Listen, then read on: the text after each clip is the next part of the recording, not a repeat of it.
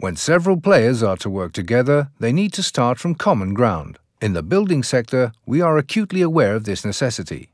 It arises when we use different words to describe the same things, when our software systems can't communicate, and when we haven't clearly agreed who will do what and when.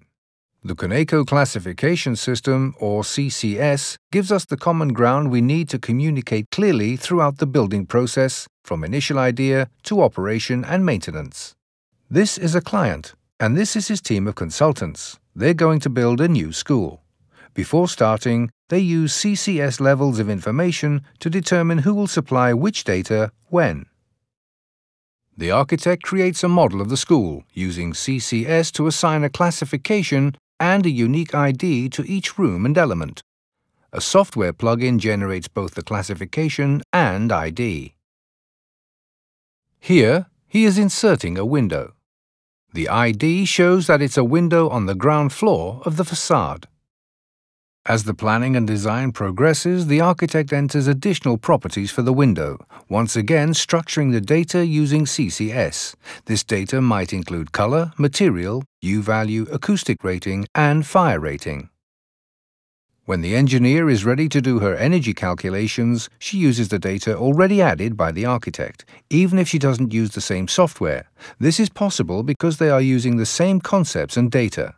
The same goes for the consultant doing the lighting calculations, the consultant doing the sound calculations, and so on. A couple of months further on, the consultants are still using the same data. They complete the tender documents and transfer information to the bill of quantities.